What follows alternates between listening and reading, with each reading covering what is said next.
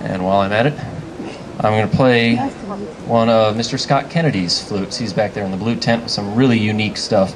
Uh, this little flute is made out of the horn of a blesbok. It's a medium-sized African antelope. And uh, he assures me they're harvested. The horns are harvested legally, so I don't have an issue with it. But uh, it gives, it's got a really unique look to it, and uh, I think it's got a pretty cool sound. So I'm going to go ahead and give this one a whirl.